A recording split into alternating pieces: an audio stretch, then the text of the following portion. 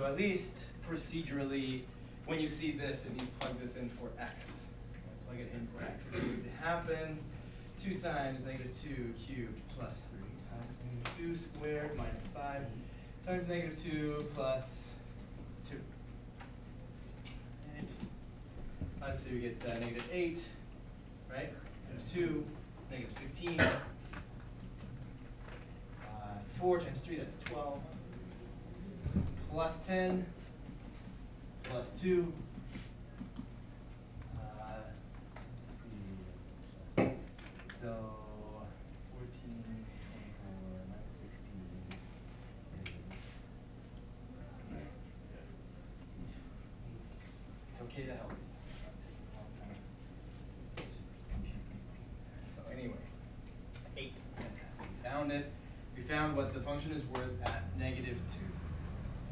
So if this means plug negative two in for x, what does this mean? plug in x plus h in. There, very good. This is the first hurdle, all right? So we want to make sure that we uh, go over this hurdle. So two times x cubed plus three times x squared, that's x plus h, minus five times x, which is x plus h now. Alright. Hopefully, uh, thought it was simple, you realized it wasn't after you plugged it in. Mm-hmm. Because what does it mean to cube this? Multiply X plus five.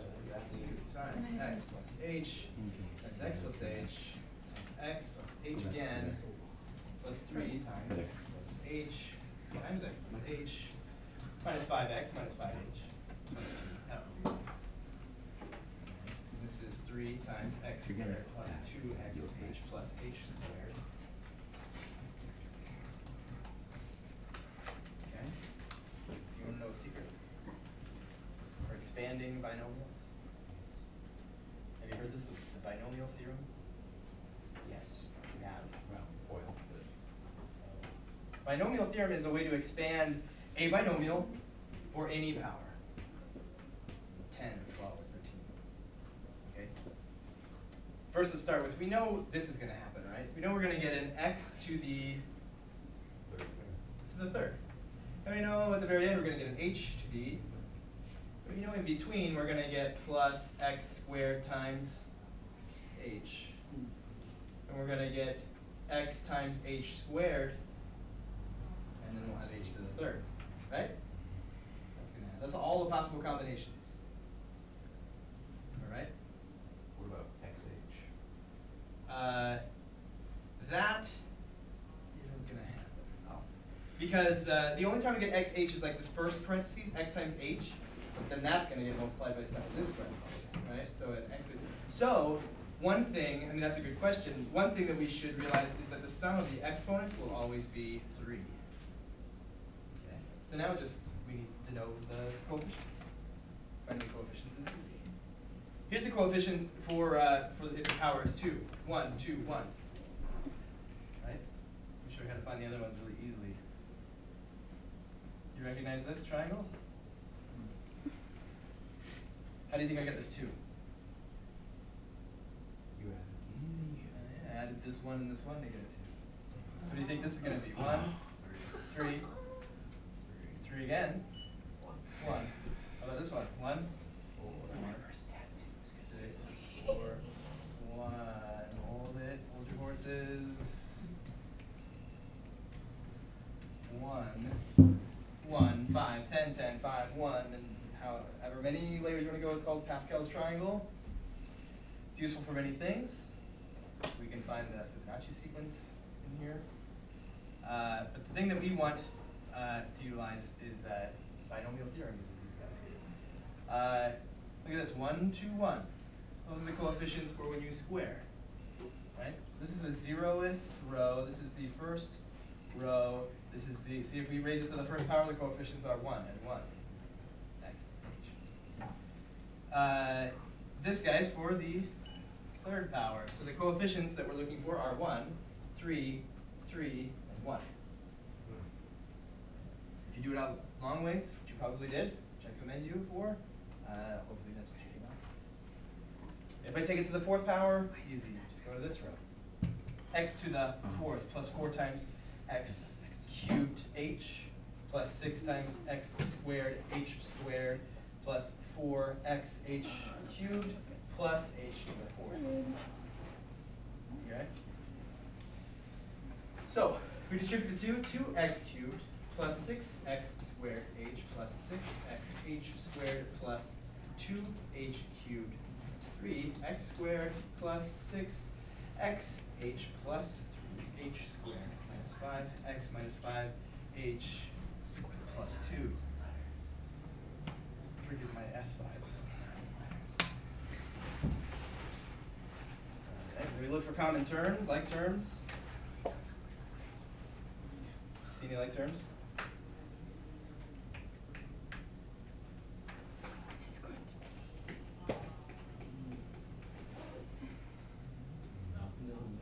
going to because this one, as we talked about before, the, the sum of these exponents is always going to be 3. The sum of these exponents is always going to be 2 some of these is always going to be one. If you realize that, you know, there's not going to be any like terms anywhere in here. Okay. So that's it. That's what it is. So as we Why? go into finding derivatives and slopes and tangent lines and all that kind of stuff, uh, that's the first hurdle is plugging in x plus h for a bunch of x's, and particularly if we cube that. Okay. Oh crap. But you think you can do it, right? You think?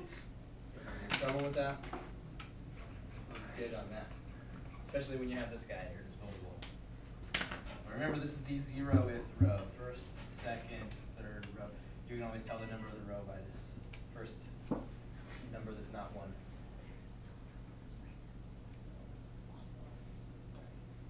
Until the baby is here, you're gonna have to put up with my phone messages.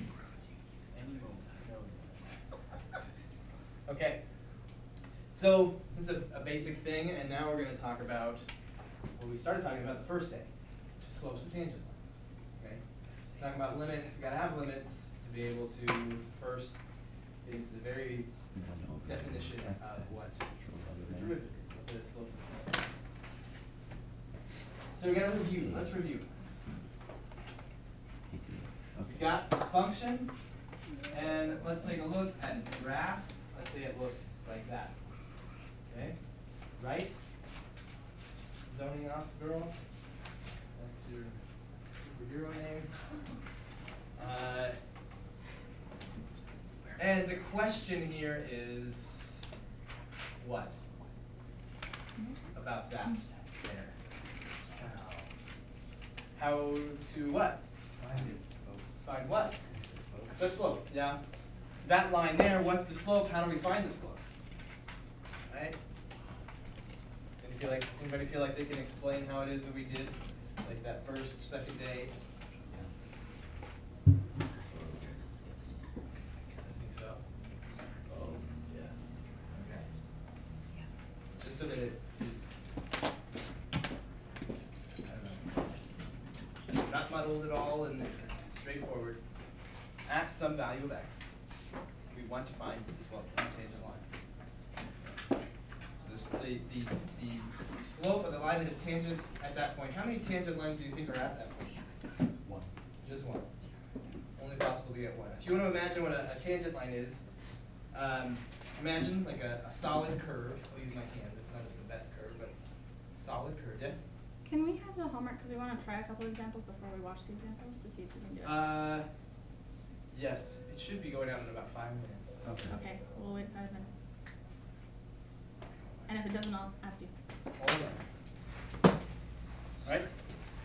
So you imagine a, a solid curve, not like these uh, these graphs. They're not solid. They're definitely you can move through them and it doesn't stop us from moving.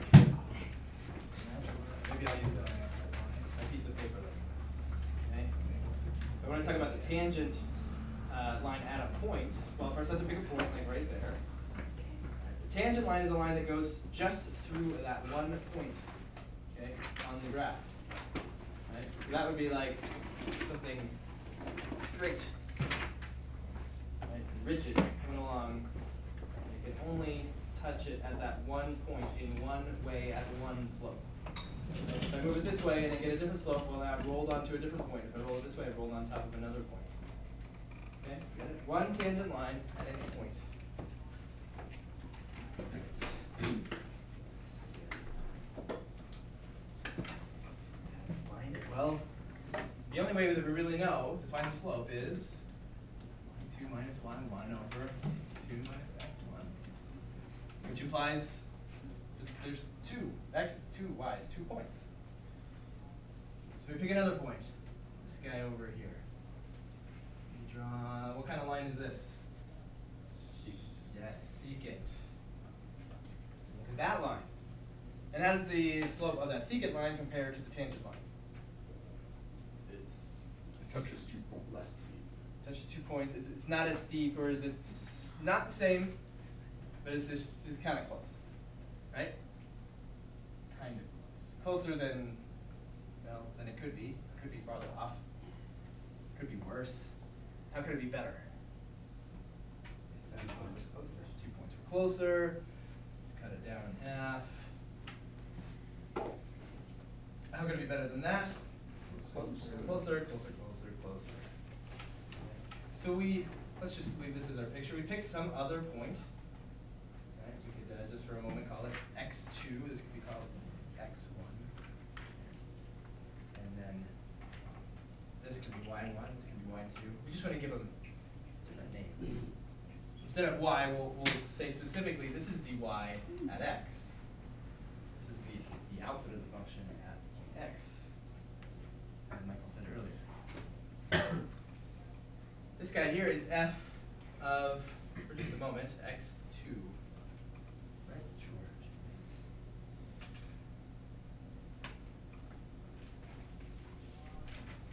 But instead of calling it x and x two, what we really want to have happen is, uh, it's a little bit easier to think of that space between the two points getting smaller, rather than the two points becoming the same, you know, x being the same value. So, we'll just call this guy delta x, or later h. So x two is actually where?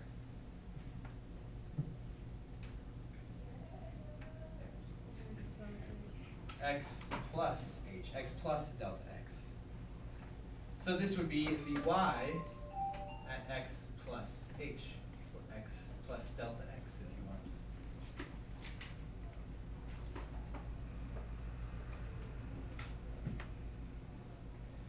It's like you said, this is like our y one, like y two, this is like x one, this is like x two. We could take y two minus y one over x two minus x one. What happens here in the denominator? X, minus x is zero. f of x plus h minus f of x over h. Okay, right now, what does this, exactly this, tell us? So that we want to, like, at, at instantaneous.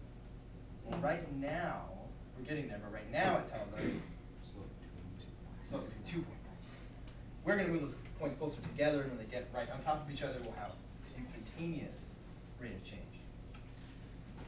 So now that we've had all this experience with limits, in terms of limits, what do we wanna do with this? To the to The limit as what approaches zero? as x approaches zero. X approaches zero? No, as h approaches H zero. approaches zero, because H is the distance between the two points, Yeah. and we wanna, we wanna zero out that distance.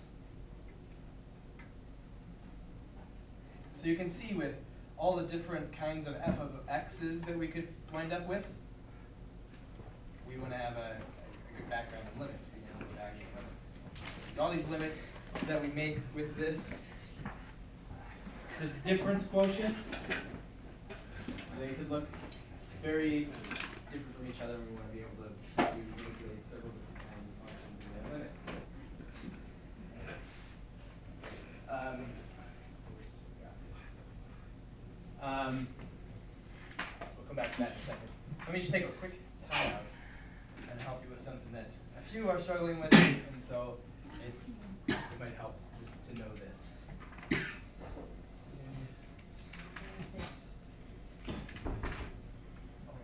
That's good, man, yeah. Well, a couple Oh, of- this is- but other than that, Ooh, that that is pretty bad. Yes, Uh. So this hand, your hand, your left hand, represents the first quadrant of the unit circle.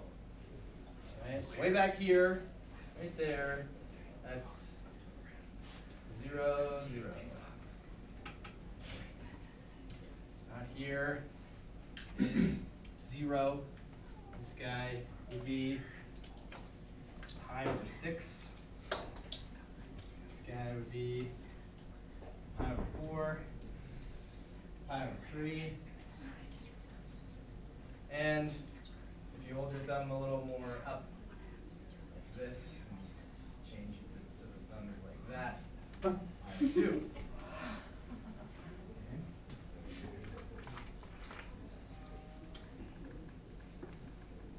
We're all good on that? Now, this, what I'm about to show you is just a coincidence, not really any math behind it, it just works out nicely to our advantage, so it's easy to remember the sines and cosines of each of these angles. Uh, just a very useful thing. And then when it comes to remembering the sines and cosines of the rest of the angles, it's just the mirror image in some way of the first quadrant, so that's all we really have to know. Uh, so we're gonna start here, we're gonna call this the, um, copy it.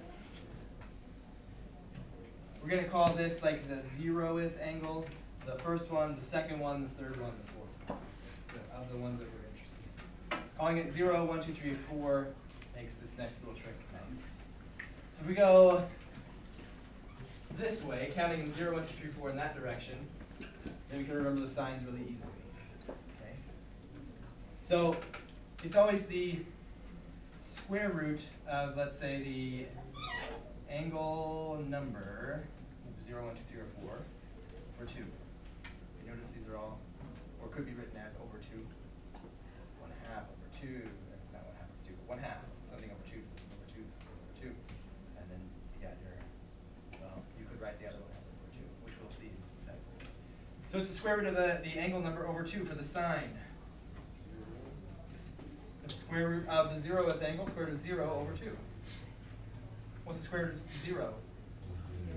Divided by two, zero, sine is zero. This is the first angle, square root of one over two, what's the square root of one? One. Oh, one half. Well, it's this, this is the second angle, what's the square root of two? Well, it's the square root of two, square root of two over two. Okay? Here is the third angle, square root of three over two. Here's the fourth angle, square root of four over two, what's the square root of four? Two two? So we wanna remember the sines? Go that way. And you think about the, the sine, when you think about the unit circle, the sine is the vertical, right? The vertical part of that angle, where that angle is. Right? Cosine is horizontal, sine is vertical. So if we wanna remember the, that this way is sine, well, obviously they're gonna get bigger. They're gonna go from zero to one half, to square root of two over two. Square root of two is bigger than one. So square root of two over two is bigger than one half. Square root of three is bigger than square root of two, so that's bigger than that. And then of course one is bigger than square root of two over two, is bigger than square root of three over two. We Go to the next page and I paste this in. Wow. Going this direction, thinking of this is the zero, one, two, three, fourth angle. Then we remember the cosine is the exact same. Square root of zero over two, square root of one over two, square root of two over two, square root of three over two, square root of four over two. Those are the cosines.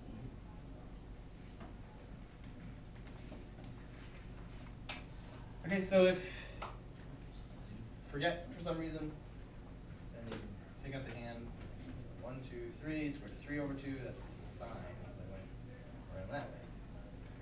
Okay. Um, the time is here for us to know our trig values, gonna ex- be expected to know those ones. You're, you're gonna expect- expected to know the, the sine of negative five pi over six, you're gonna be expected to know that, or be ready to know that on the AP test, and on all of my tests. So put point eight six on the test, you know, that I gave back, all right, but it's time to remember the exact values. So let's get on that train, I guess. All right, back to talking about the difference quotient.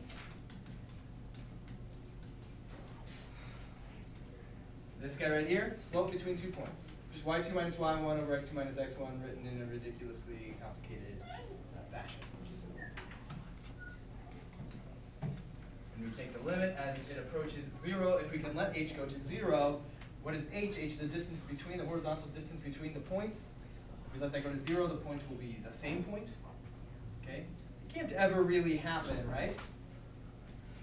Like this function here has a hole in it, basically. But we kind of take that hole out and we figure out what it's getting close to. And what it's getting close to is obviously the slope of the line, right? That's what we're looking for. Alright. So let's take the original example that I just have to the beginning of class.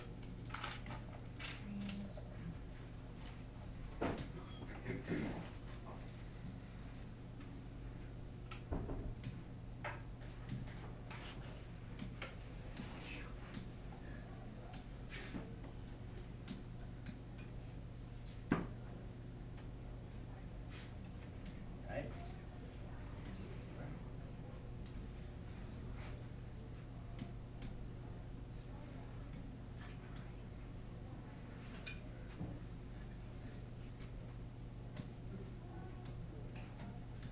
Okay.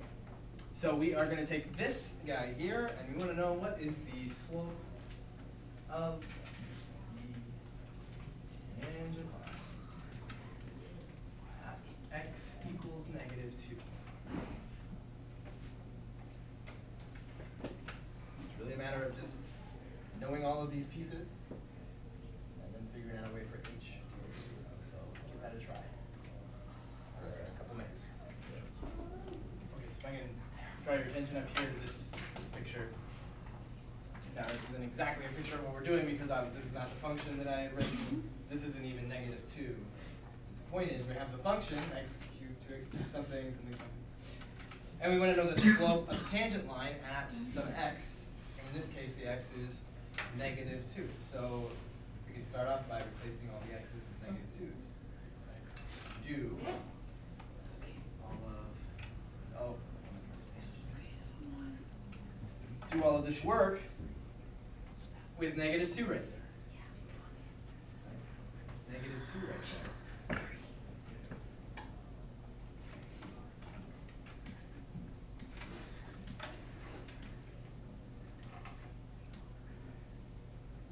So we want to find f of x is f of negative two. We found that is h. If we want to find f of negative two plus h, then we can go two times negative two plus h cubed plus three times negative two plus h squared minus five times negative two plus h plus two. It's two times. Uh, well, this triangle still works. It's just that we don't have an x anymore. We have a negative two that's gonna take the place of all those x's. But still, one, two, one, one, three, three, one. Okay, question of One, three, three, and one. Well, we still have h. We're still gonna have h cubed. We get an h squared here. h to the first. No h's there. It's just the thing that is cubed is negative two cubed, negative two squared, negative two first. That's all that comes to be. And we have uh, plus three times negative two squared plus two times negative two h plus uh, h squared minus, is getting crowded, let's get rid of this. Got not used out of that. Minus five, no, sorry, plus ten, minus five h plus two. Keep going here, two times negative eight plus twelve, uh, eight, let's see, a h plus twelve h, uh, minus six h squared plus h to the third plus, uh, let's see, three times four, that's twelve. Three times negative four h, right, minus twelve h. Three times h squared, three h squared, plus 10 minus 5h plus 2. Uh, following along? It's like we're okay? No big deal. Maybe you make mistakes, but you see what's going on. 2 times negative 8, negative 16. 24h, 12h squared, 2h cubed, 12.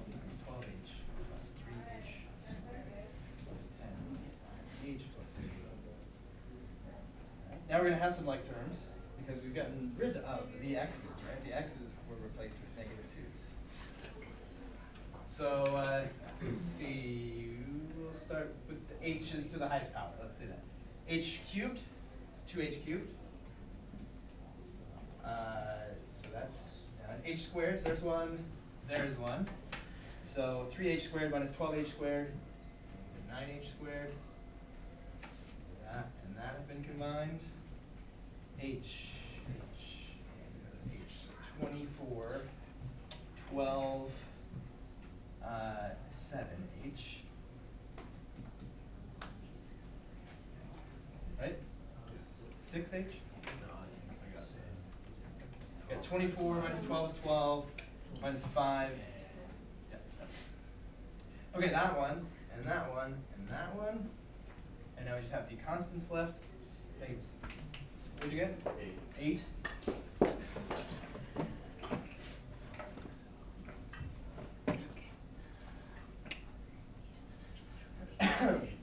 Okay, what's this? After all that work, what is that? Oh my goodness. What? So, no, not as low.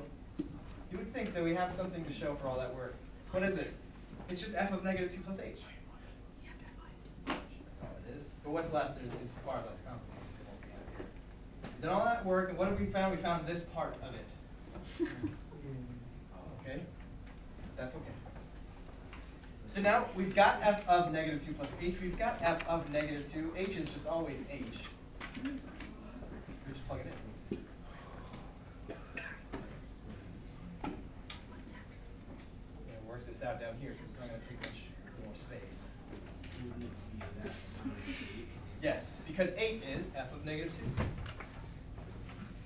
So two h cubed minus nine h squared plus seven h plus eight minus, okay, that's f of negative two plus h, f of x plus h. And now f of negative two, we subtract, is eight. h, we wanna find the limit of this as, it- as h goes to zero. Whew. Okay, what do you notice in the numerator? Your eight and minus eight, you're gonna cancel out, not surprising. Because all of these constants that we put together, those are just the numbers we got when we plugged in negative two for x and no h's got. right? And we can, uh, yes, we can factor out an h from all of these. Okay, so this is the limit as, as h approaches zero of h times two h squared minus nine, h plus seven over h. Our experience with limits doesn't surprise us when we cancel out this h, right? Because if we back up one step, and we want to know the limit of this as h approaches zero, what would be the best case scenario for finding that limit? Yeah, you plug it in, direct substitution. Uh, and don't get a zero in the denominator, but we do. But we also get a zero in the numerator, so we know that this limit is findable, it's not going to infinity or something. So we can plug zero in there and there, that's not working out, but then of course, we made it easy on ourselves to figure out that h can cancel. Just And we're left with what's the limit as h approaches zero of, of this new function that agrees at all but one point, two h squared 9. What do we get when we plug in zeros? Seven. Number seven. That's it. Right, all that work to find the number seven. What's the significance of that number seven? the limit of the function, okay? So the limit of this function, what is the limit as h goes to 0 of this function that we constructed? Tell us. Slope.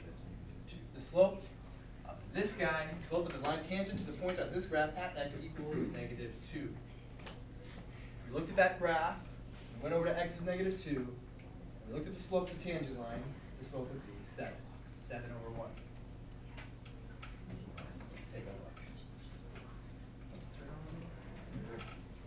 out. So we get 2x cubed plus 3x squared minus 5x plus 2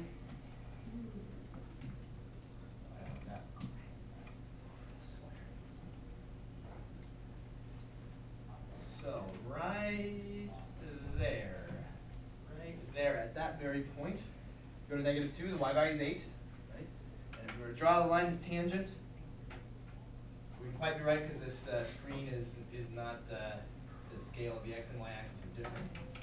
But the slope would come out to be seven over one. It goes up seven for every one that it goes over. Okay. Well, I know it was a lot of work, but it's a pretty amazing thing that we were able to do. Right? Effectively, we have done no calculus here, except for maybe the idea of limits. Okay?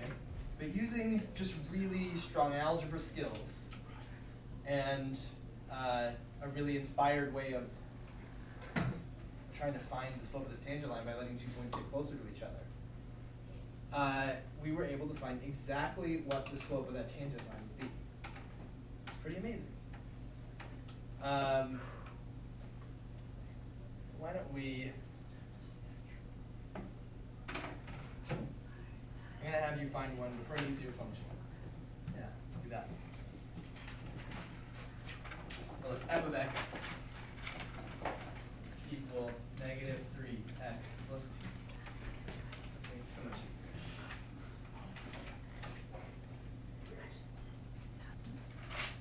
easier. Okay. Uh, so we want to find the slope of the line tangent to the point on that graph at x. So we need f of 4 for one thing. We need f of 4 plus h. These are simple. f of 4 is going to be negative 10, right? And uh, f of 4 plus h, that out, 4 plus h plus 2. Negative 12 minus 3h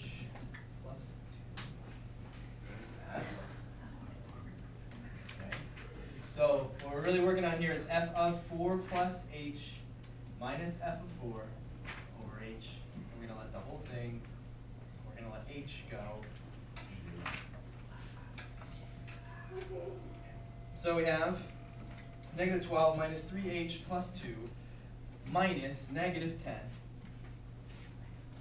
h. Now let's see, negative twelve plus two is negative ten, minus negative ten plus ten is zero. Just a hint, or, you know, just a tip. If your number parts don't completely cancel each other out, you did something wrong somewhere. If we had gone uh, in this previous one and we didn't get eight minus eight, we did something wrong. Okay, just a clue, like a check.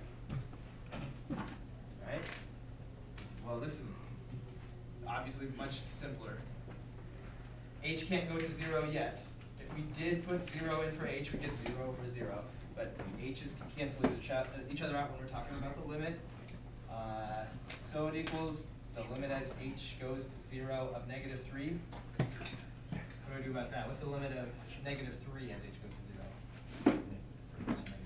H doesn't affect it, it's always negative three. So, what does this mean? Slope of the tangent line to this graph at x equals four. Now, who knew this before you even started? Right, this is what? It's a line. Every point will have a tangent line that has a slope of negative three. Okay. I like stuff like this because if we weren't so tied up in this f of x plus h and stuff, you probably would just know that already. Uh, but you get so tied up in what you're doing. I, I remember in chemistry class one time, we were given this sheet of, of uh, chemical compounds, and we are supposed to name them all using the nomenclature of chemistry, and came upon this one. How do you name that one? Water. It's water. It has a name. It's dihydrogen monoxide, you know, everybody was so focused on naming them correctly that everybody put dihydrogen. I think it was a little joke that chemistry teacher put in there.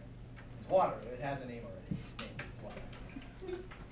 Anyway, we're kind of doing that with this. Any point, any point on this graph is going to have a tangent line with slope of x.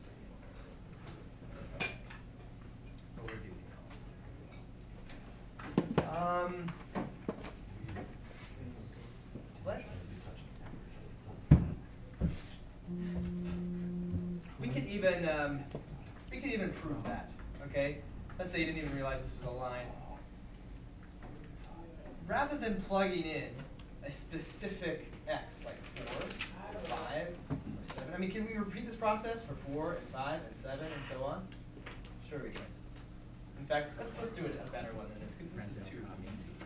Let's do, uh, but pretty simple. f of x equals x squared plus, uh, we'll just do x squared plus all of that. Thank you. Probably a couple minutes, I think you'll be done pretty soon, so go ahead. At, at x equals, uh,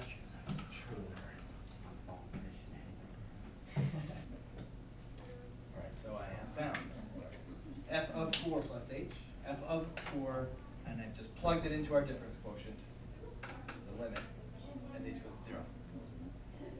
So nineteen minus nineteen should happen, right? The only things left in the numerator should have h in them, so cancel the h in the denominator, that's the whole idea here.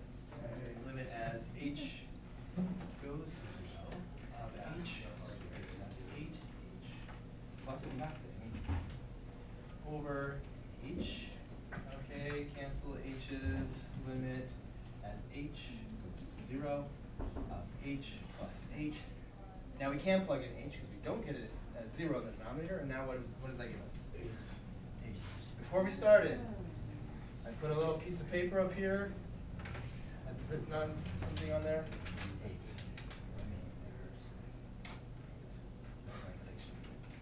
Wow. Before I even did the work. Much easier, faster way to do this, but it doesn't really. yeah. To not understand this would be cheating ourselves, at least for the AP test. If you don't really get this, you don't recognize this cosine of um, of, let me think about this for a second.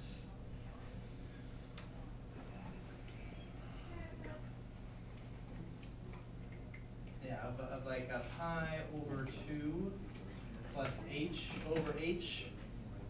The limit as h goes to zero. You might think this is a limit problem. Oh, let me find the limit. Let me try and cancel out the h in the denominator. This is getting hard. Okay? But if you keep in mind, stuff like h and delta x in it are really about the derivative, then we realize this is just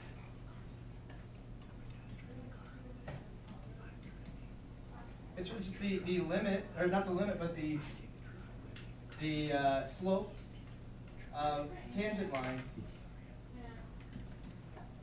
uh,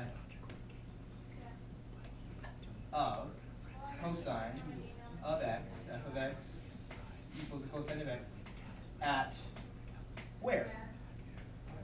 At pi over 2. Now, of course, you don't have any way of figuring that out, do with cosine, right? We just used pol- polynomials so far. So, but if you recognize it as, oh, this is just the slope of the tangent line of this, there's something called the derivative, and we're going to find the derivative of cosine will tell us this. Uh, but you need to you need to have the basics. You gotta have the foundation. Okay, so let's come back to this one. So I did it for x equals four. Can I do it for x equals five? X equals seven. Negative twelve. Yes, anything, any x. I just replace this 4 with whatever and this 4 with whatever. Okay? How would that go? We just plug it in there, and we do all the work out, and we do this, and this, and this, and this, and this, and we have a number when we're done, right? Well, what if we did this instead? Instead of doing all the work with a 4 plugged in or a 7 plugged in or whatever, we can say forget about 4, Because really, like, I'm erasing all these fours, right? Isn't this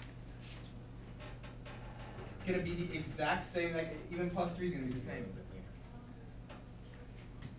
It's gonna look almost exactly the same for any value I plug in, right? I'm gonna square it here, and I'm gonna get, you know, something.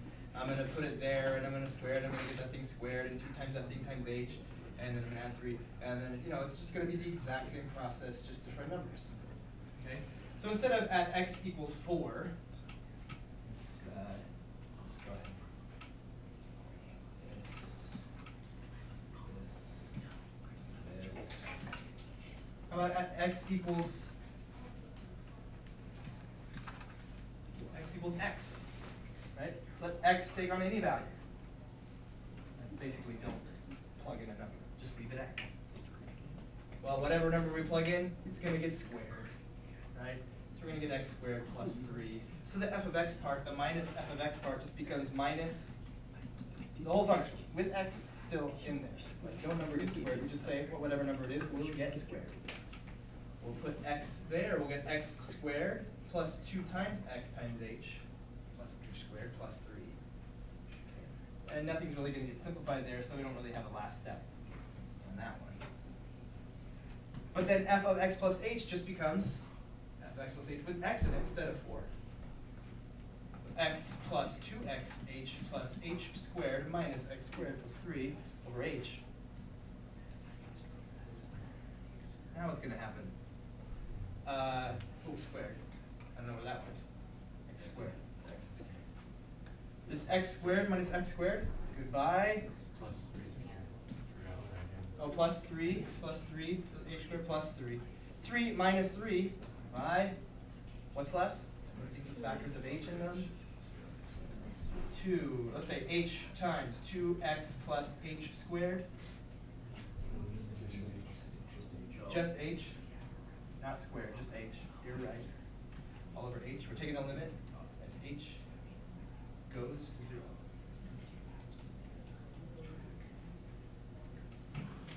And the h's cancel, and we let h go to zero, and what are we left with? Two x. Let's test it for x equals four. What was the slope at four? What would we get before there? All the work got done for all values of x. And now what we have is a new function. Right? We can plug anything in here for x. And when we plug anything we want in there for x, we'll know what? The slope of the tangent line at that point. That- Is that not amazing? I mean, we have a new function, like it's a magic computer that will calculate very easily the slope of the tangent line at any x. If you're not thrilled right now, you're just, I don't know, you're having a bad day or you don't love math, okay? This little guy right here is a magic computer that will tell you, for this function, the slope of, not between any two points, but at, exactly at this point, any point you choose. And all I need to know, I don't even need to know y anymore, I just need to know what x is. Just plug in x, it's all done. So like at any point along the entire line, you can find slope. Anywhere, a thousand, a negative one million, like it's going to tell you the slope anywhere. If I said, if I said a few minutes ago, find the slope at x equals seven, uh, seven, seven plus h squared plus fourteen h plus h squared plus three, plug that in, do all that, get all, and you would get done, what would you find? Fourteen. All the work, basically you did the hard work of leaving x in there, but then at the end what you have is something much more useful, much faster for finding the slope.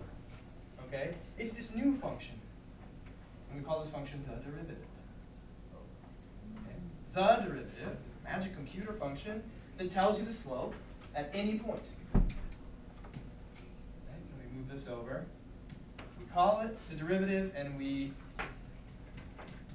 also give it this notation, right? It's, it's a nice notation because it's in reference to f, right?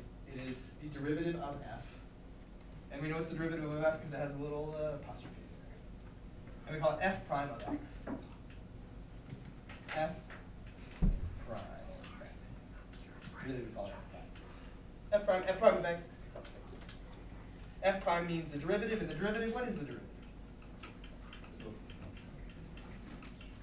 Of that. Yeah. The derivative isn't just a slope, the derivative is, is this thing, what is this thing?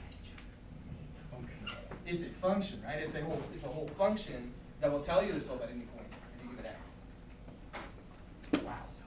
Okay? And we can do this with uh, any function. Okay? It's within reason because we need to uh, be able to do this stuff here, cancel things out and cancel out h's. That'd be difficult to do with, say, like cosine of x plus h. I- that doesn't really work as well as it does with polynomials. So, there you go. And if it were, if it were, you know what, if, it, if we went all the way back to that guy right there, actually that work was done in the previous slide. Work was done way back here. Um, look at this right here, what's this? Yes.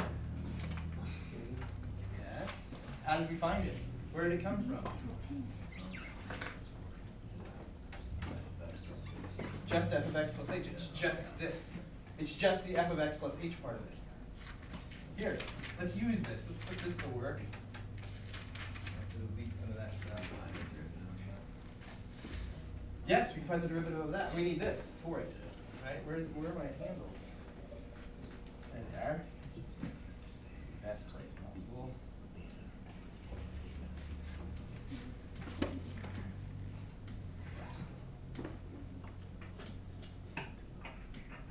Okay.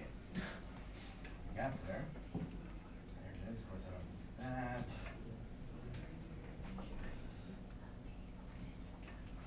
What did we say this was?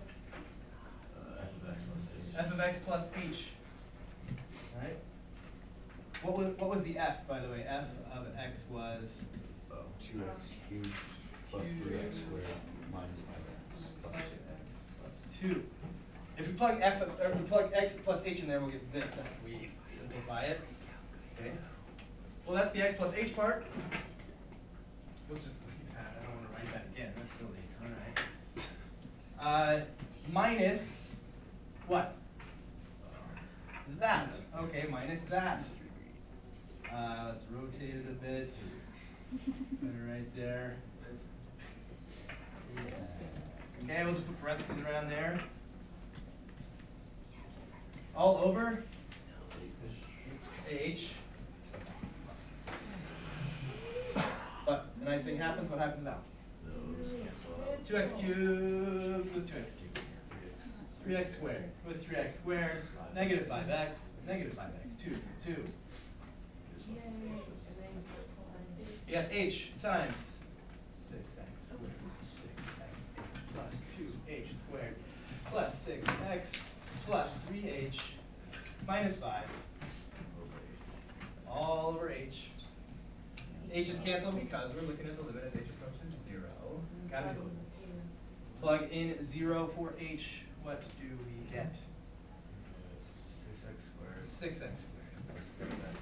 plus six x. Plus two. Plus six x. Wait. Oh, no, not No. plus two, not plus two.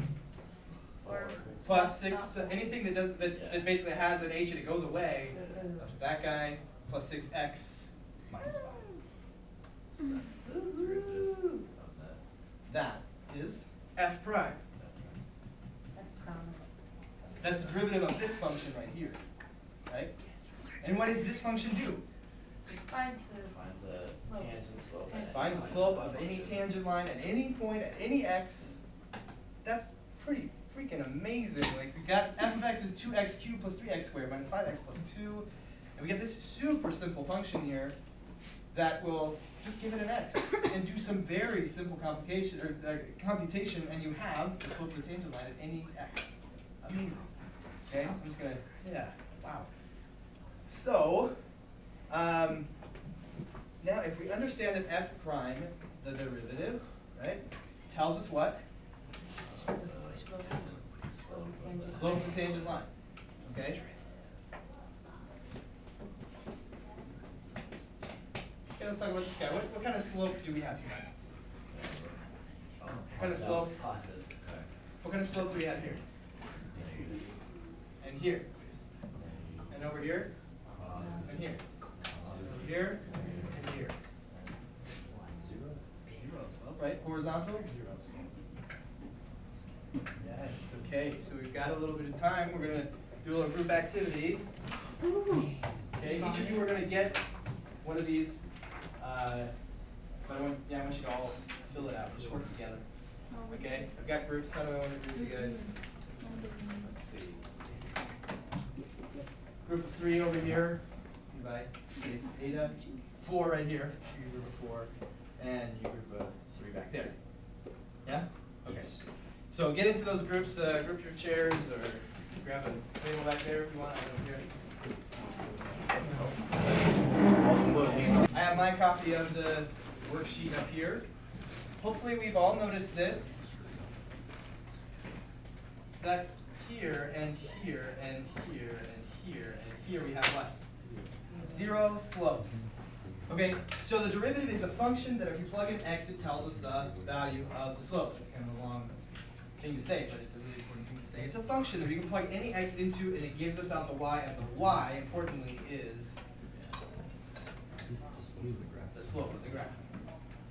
Okay, so I'm gonna draw my f prime function with this blue color, right? So I'm gonna make a blue dot at this x value right here, right? So I- I've, I've, I've consulted my derivative, my f prime, and I've asked my f prime, k f prime, what is the value of the slope at this point right here? And what did it tell me? Zero. I put in negative, who knows, negative seven, negative, I don't know what this x value is, it's not specific, but I know I got out zero, right? The y value of the derivative is the slope, so the y value of the derivative should be on the x-axis, right? The dot should be on the x-axis. Same for this one. I asked it, what is the derivative at this point? Zero. So I should not, it shouldn't be positive, it shouldn't be negative, it should be zero. Okay? The, the mistake that we make is trying to get the slopes of the derivative to match the slopes. The slope of the derivative has nothing to do with what the slope of the original function is. It's the y value.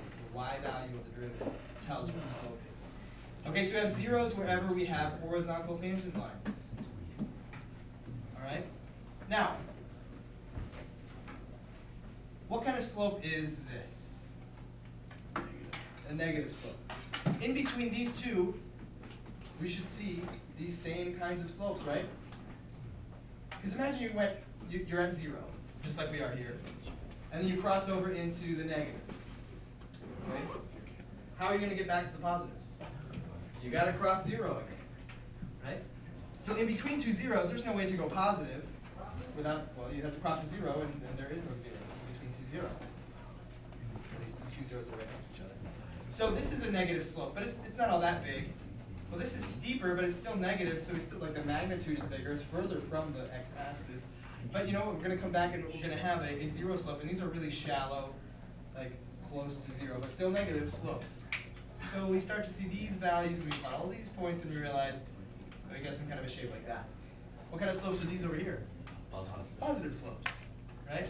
So the y value of the derivative should match the slope of the original function. Well, that's positive. Positive slopes, big, big positive slopes out here, I bet, right? So the derivative also is going to keep going up. Okay, what kind of slopes do we see here? Positive, positive, positive, big positive, and then coming back down to zero.